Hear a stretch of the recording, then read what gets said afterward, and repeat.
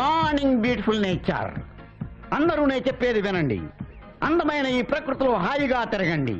Boss office ఆసు పిన్నీసు అన్నీ మర్చిపోండి. ఈ నేచర్లో మీ నేచర్కి తగ్గట్టుగా ఎంజాయ్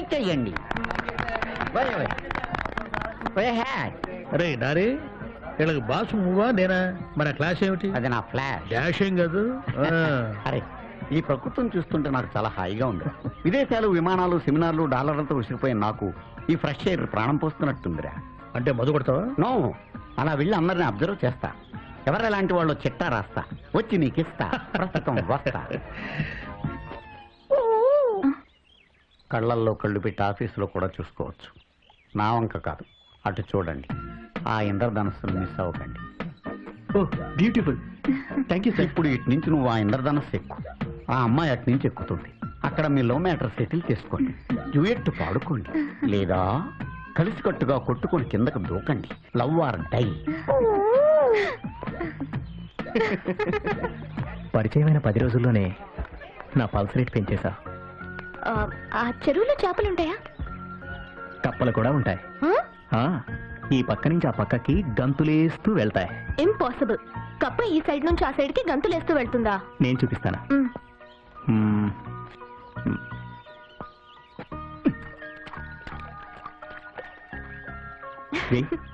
నేను ఇంకా బాగా వేస్తాను.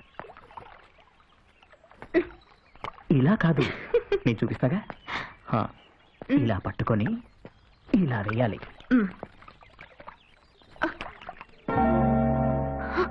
మై గాడ్ నా రింగు పోయింది. ఆ ఉంగరం నా ప్రాణంతో సమానం.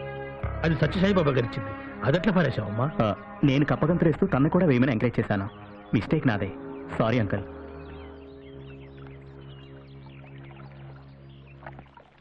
సరే పదండి. ఒక్క నిమిషం మీరు ఆగండి. నేను చెప్పే జాగ్రత్తగా వినండి. మీరందరూ ఆ రావి చెట్టు కింద ఉన్న గుళ్ళో దేవుడికి పూజ చేస్తే ఆ ఉంగరం దొరుకుతుంది. ఏ దేవుడు సార్? అదేనయ్యా. ఆ ఏనుగు తలకాయ ఉంటుంది తొండ ఉంటుంది చాటి చెవులు ఉంటాయి. ఒక పన్ను ముందుకు పుడుచుకొచ్చినట్టు ఉంటుంది ఎవరు సార్? ఆ పేరు నోట్లో ఆడుతుంది కానీ బయటికి రావట్లేదా? ఆ ఇదిగో ఇండోనేషియా కరెన్సీ నోట్ల మీద అతని బొమ్మ ఉంటుందయా ఎలక వెహికల్. ఏ శుభకార్యం జరిగినా ముందు ఆయనకే పూజ చేస్తారు. వినాయకుడు సార్. ఫ్యాంటాస్టిక్ మెమరీ ఆ దేవుడికి పూజ చేయండి. మీ ఉంగరం దొరుకుతుంది. ఓకే.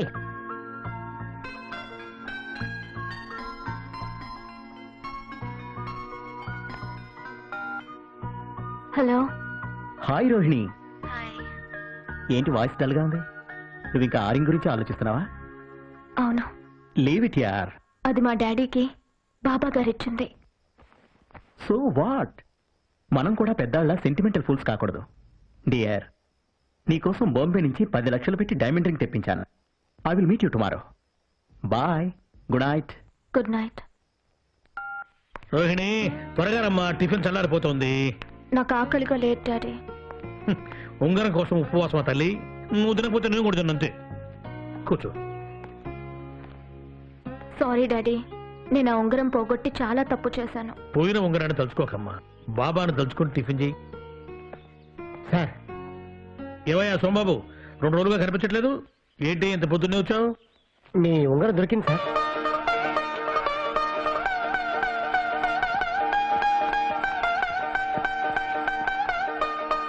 సత్యం ఉన్నవాడయ్యా సత్యసాయి బాబా. ఎలా దొరికింది? నీళ్ళలో మునిగి చెరువంతా వెతికితే దొరికింది. గురువారం పూట బాబా అనుగ్రహించారు. వేలికి పెట్టుకోమ్మా. థ్యాంక్స్ అయ్యా. సార్. ఆఫీస్లో కొడతాం అట్టగే.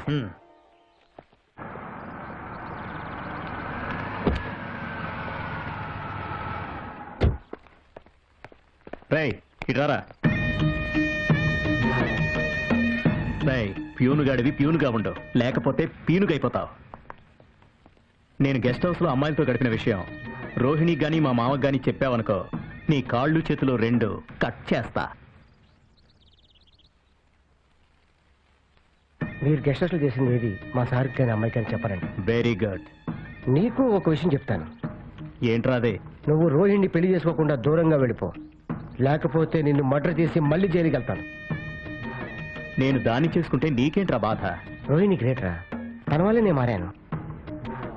తన పైన నీడపడిన నిలువు నా చీరేస్తాను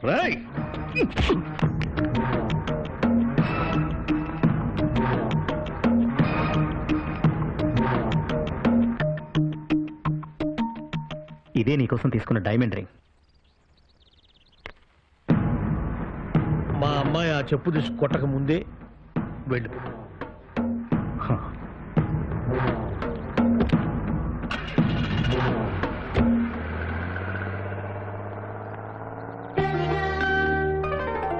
గుడ్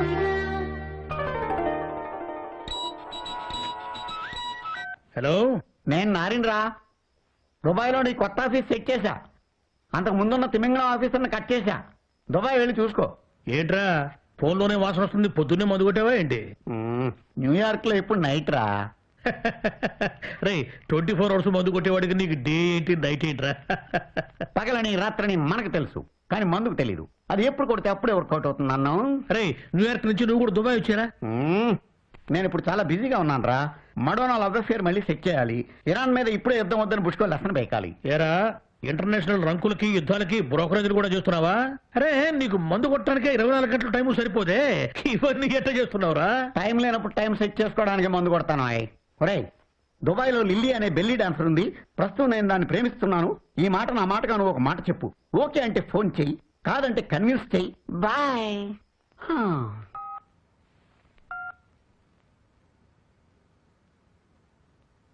అమ్మా రోహిణి సండే మార్నింగ్ మనం కొత్త ఆఫీస్ చూడటం కోసం దుబాయ్ వెళ్తున్నాం. రెడీగా ఉండు. Okay daddy. ఆ సోంబాబు సార్. నువ్వు కూడా మాతో వస్తున్నావు. అలాగే sir.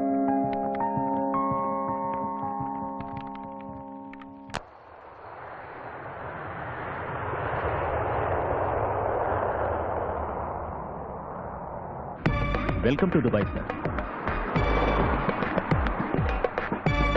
మీరు దుబాయ్కి రావడం మా అందరికీ చాలా ఇన్స్పిరేషన్ సార్ ఉమ్. నూట నలభై రెండు దేశాల వాళ్ళు ఇక్కడ జాబ్లు బిజినెస్లు చేస్తున్నారు సార్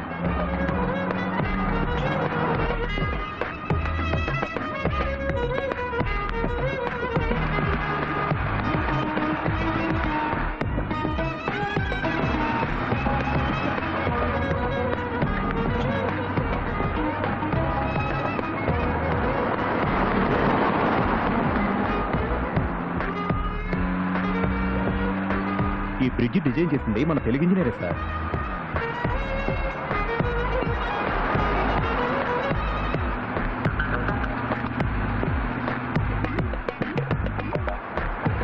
World tallest building. నూట నలభై తొమ్మిది అంతస్తులు. ఇంకో వన్ ఇయర్లో పూర్తవుతుంది సార్.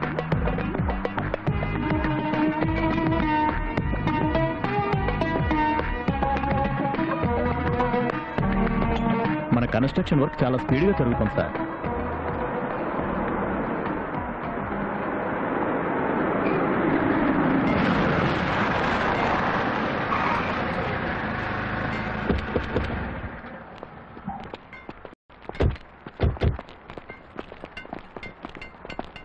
నమస్తే నమస్కారం. నమస్తే నమస్తే. ఇతనే సార్ మన కొత్త మేనేజర్. ఓ వర్క్ ఎలా ఉందయ్యా? బాగా జరుగుతుంది సార్. ఇక్కడ మీకు లేబర్ ప్రాబ్లం ఏం లేదు కదా? ఏం లేదు సార్. అంతా మన తెలుగు కుర్రాళ్ళే ఖర్జూరకాయ ఇంత దేశం.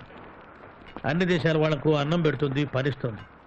అగ్నిగుండం లాంటి ఎడారిలో ఆకాశం లాంటి భవంతుడు this government's policy is very progressive and extraordinary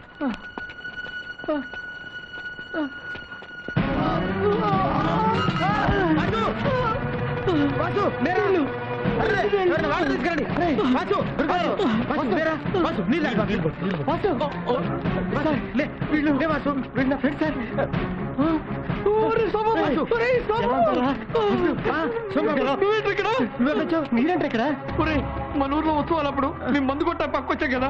అప్పుడు ఆ కవిగాడు వచ్చి మీరు మందు కొట్టున్నారు ఈ విగ్రహాలు దొంగతారు మీ మీదకి వస్తారు మమ్మల్ని హైదరాబాద్ పంపించారా? అక్కడి నుంచి మీద దుబాయ్ పంపించారా?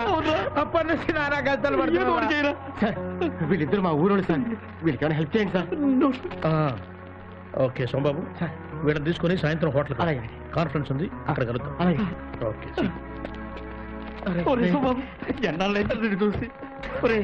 ఇక్కడ తెలుగు వాళ్ళు విజయనగరం వైజాగ్ ఇక్కడి నుంచి వచ్చిన చాలా మంది ఉన్నారా? అంతేకాదు బాసు కరీంనగర్ వరంగల్ నిజామాబాద్ ఆదిలాబాద్ అందరు ఉన్నారు బాసు. వీళ్ళందరూ పరిచయం చేస్తా. హలో నేను దుబాయ్ వచ్చాను రా రేయ్ నువ్వు దుబాయ్ రావటం హ్యాపీరా? కానీ పార్టీలో మాత్రం ఎక్కువ తక్కువ తాగితే నువ్వేం మాట్లాడతావో నీకే తెలియదు తాగినా నిజాలే మాట్లాడతాను రా ఏడు చావులేవో నువ్వు ఏనుగులా తాగి గాడిదలా ఓండ్ర పెడతావు. అదే నా భయం. మా అమ్మాయిని కూడా తీసుకొస్తున్నాను. ఓవర్ చెయ్యకు. నువ్వంత వావుడుగా నన్ను డౌట్ చేయకు. ఓకే. బాసు నేను ఇక్కడ కలిశాక శ్రీకాకుళమే దుబాయ్ వచ్చినట్టుంది. అవును బాసు ఇంతకి నీ లవర్ ఏమైంది? మళ్ళీ కలిసిందే? నేను పనిచేసేది వాళ్ళ ఆఫీస్లో రా. రోహిణి కూడా దుబాయ్కి వచ్చింది. సాయంత్రం ఫంక్షన్లో కలుస్తాం. Come on toilet cleaning sir.